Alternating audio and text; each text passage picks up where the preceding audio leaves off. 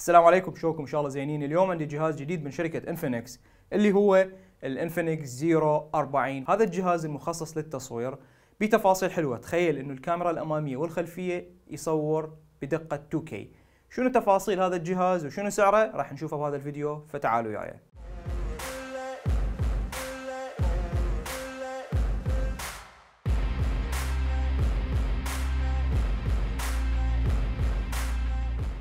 بالفترة الأخيرة شركة انفينكس بدأت تتطور وخاصة أنه هذه الشركة أكو عندها أكثر من سلسلة كل سلسلة هي مخصصة لفئة معينة.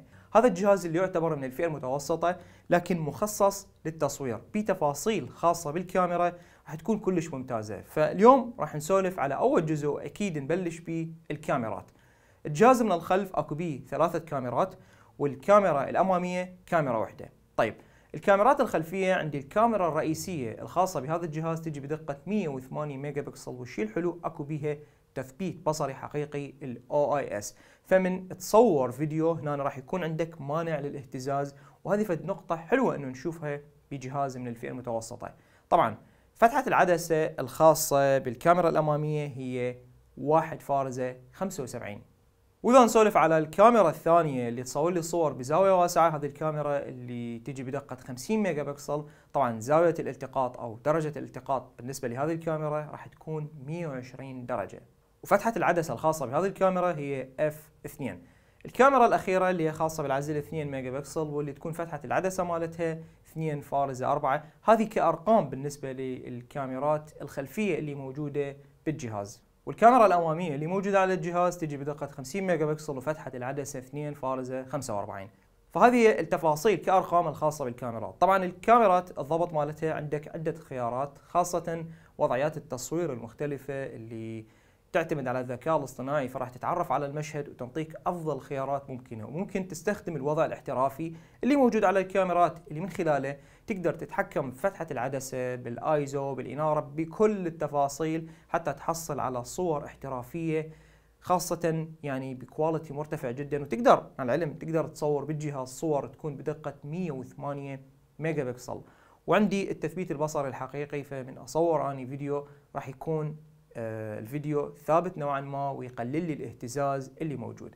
فهذه التفاصيل الكاميرات اللي موجودة بجهاز Infinix Zero 40 5G طبعا أداء الكاميرات بالنسبة لجهاز ضمن الفئة المتوسطة بصراحة يعتبر شيء جدا ممتاز سواء الكاميرات الأمامية أو الكاميرات الخلفية. بوضعيات مختلفة بالليل بالنهار. تعامل الجهاز ويا الألوان راح ينطيني صور عالية التباين. أكيد أنا كل ما أصور بمكان بإنارة كافية راح تكون النتائج اللي أحصلها من خلال الصور ممتازة جدا.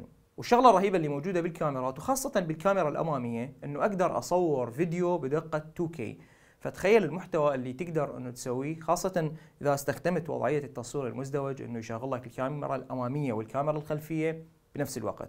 كل خيارات الضبط ووضعيات التصوير هي موجودة وتقدر تتحكم بها فإذا كنت مفكر تشتري جهاز من ناحية التصوير. طبعا بالنهاية جهاز هو يعتبر من الفئة المتوسطة. فأكيد أنا ما أقارن الصور اللي أحصلها بهذا الجهاز مع أجهزة تكون فلاج شيب الصور اللي تكون ضمن هذه الفئة السعرية مع أقرانه يعطيني نتائج جدا ممتازة سواء بالكاميرا الاماميه أو بالخلفية أو صور أو فيديوهات. فالنتائج اللي أنا أحصلها من خلال الجهاز مثل ما شفناها جدا ممتازة.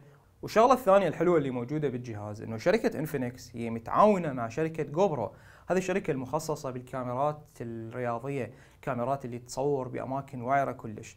طبعا من خلال ضبط الكاميرا أكو خيار تقدر إنه توصل كاميرا ال GoPro مع هذا الجهاز بشكل مباشر فتقدر تتحكم بالكاميرا من خلال الجهاز مباشرة. الشاشة اللي موجودة على كاميرا ال GoPro نعرفها صغيرة كلش. هنا تقدر تحول جهاز Infinix إلى شاشة لهذه الكاميرا وتتحكم بالكاميرا. بكل الضبط وكل الإعدادات فخطوة حلوة نشوف أكو تعاون ما بين شركة كبيرة مثل GoPro اللي مخصصة بالكاميرات مع شركة Infinix المخصصه للهواتف بالتالي راح تنطيك نتائج حلوة. هذه كل التفاصيل الخاصة بالكاميرات. هسه نسولف لكم على الشكل الخارجي للجهاز. طبعا تصميم الجهاز كشكل خارجي وزنه خفيف وزن الجهاز 180 غرام تقريبا. جهاز من الخلف بلاستيك شيء حلو matte. فما بي أي تطبيع للبصمات وأنا صراحة أحب الأجهزة اللي تكون بهذا الشكل. مثل ما نشوف إنه الجهاز من الخلف هو منحني والشاشة أيضا منحنية فمسكة الجهاز راح تكون كلش مريحة. ما تحس إنه أي حز يصير على أصابعك مسكة مالته مريحة ووزنه خفيف وتقدر إنه تخلي اثنين SIM card بالجهاز. والشيء الحلو إنه صوت الجهاز هنا ستيريو. السماعات هي من JBL الشركة المشهورة بالصوتيات. فتستخدم الجهاز بمشاهدة المحتوى بالألعاب راح يعطيك تجربة صوتية جدا ممتازه وجهاز Infinix Zero 40 4G هذا الجهاز هو مقاوم لرذاذ المياه حسب معيار IP54 الشاشة الخاصة بالجهاز. هذه الشاشة تجي من نوع AMOLED بتردد 120 هرتز.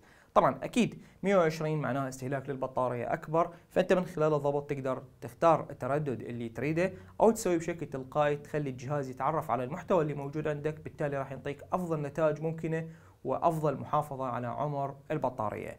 طرق الحماية اللي موجودة طريقتين ميزه التعرف على الوجه وبصمة الأصبع اللي صايرة أسفل الشاشة. بالنسبة لقياس الشاشة اللي موجودة على الجهاز هي 6 فارزه 78 إنش تقريبا وهذا القياس راح يعطيك تجربة حلوة بمشاهدة المحتوى وبالألعاب. حتى مسكة الجهاز راح تكون كلش مريحة لأنه حرفيا الجهاز تحسه منحني من كل الجهات. دقة الشاشة. هذا الجهاز يجي بدقة شاشة اللي هي ال Full HD Plus والشيء الحلو إنه سطوع الشاشة هو 1300 شمعة. هذا الرقم بصراحة أنا اليوم من أشوفه بجهاز من الفئة المتوسطة شيء جدا ممتاز. السطوع العالي من أستخدم الجهاز جو شمس أو ضوء مركز راح أقدر إنه أشوف تفاصيل الشاشة بكل سهولة وبساطة وأكيد عندي طبقة حماية موجودة على الشاشة من Gorilla اللي تحافظ لي على الشاشة من الصدمات البسيطة والخدوش اللي تصير. فالشاشة اللي موجودة هنا بصراحة جدا ممتازة و Infinix تحسها إنه خلت لك أفضل العتاد بجهاز ضمن فئة سعرية راح نعرفها بنهاية الفيديو. هسه التحديث الآخر اللي موجود هنا هو المعالج وأداء الجهاز بشكل عام. هذا الجهاز اجى بمعالج من شركة MediaTek اللي هو ال Helio G100 يمكن تسمعون بهذا المعالج أول مرة. هذا معالج حديث إصدار سنة 2024 يمكن الشهر الثامن هيك شيء معالج حديث. هذا المعالج تقريبا هو مقارب أو مشابه ببعض التفاصيل لمعالج سابق اللي هو G99 بس أكو به تحديثات خاصة من ناحية الكاميرات والضبط الخاص بها هذا المعالج اللي تكون معمارية التصنيع مالته 6 نانومتر. طبعا بالفترة الجاية احتمال راح نشوفه بأجهزة كثيرة جدا. ال RAM اللي موجود بهذا الجهاز هو 8 جيجا بايت ك RAM أساسي وتقدر إنه تزيد ال RAM من خلال أخذ RAM من الذاكرة الداخلية ك RAM إضافي يوصل لغاية 16 جيجا بايت والشيء الأحلى إنه الذاكرة الداخلية الخاصة بهذا الجهاز هي 512 جيجا بايت نعم 512 جيجا بايت بجهاز من الفئة المتوسطة بصراحة رقم كلش ممتاز لأنه راح تكون عندك سعة كلش كافية تستخدمها بالألعاب بتحميل الأفلام بالتصوير بهواي خيارات. وخاصة إنه الجهاز هو يصور بدقة عالية الكاميرا الأمامية والخلفية مثل ما قلنا بدقة 2K بالتالي تحتاج إلى مساحة عالية لأنه ال 2K مساحة الفيديو أو الصور راح تكون بشكل أكبر. نوع ال RAM والذاكرة الداخلية المستخدمة بشركة انفينكس اللي استخدمتها بهذا الجهاز بالنسبة لل RAM فهو ال LPDDR 4X والذاكرة الداخلية اللي هي UFS 2.2 الأداء الخاص بالجهاز راح يشغل لك هواي من الألعاب بإعدادات عالية كلش. أنا أفضل إنه تخليه على الإعدادات المتوسطة حتى يعطيك أفضل نتائج ممكنة.